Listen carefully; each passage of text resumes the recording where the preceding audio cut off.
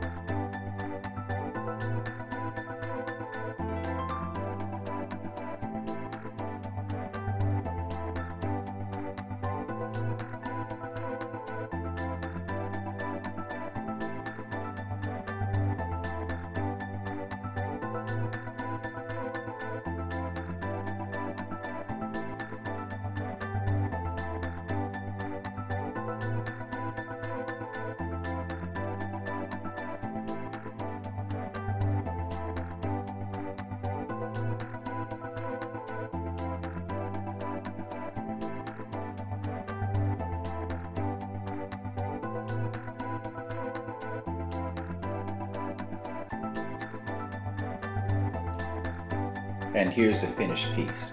Let me know what you think.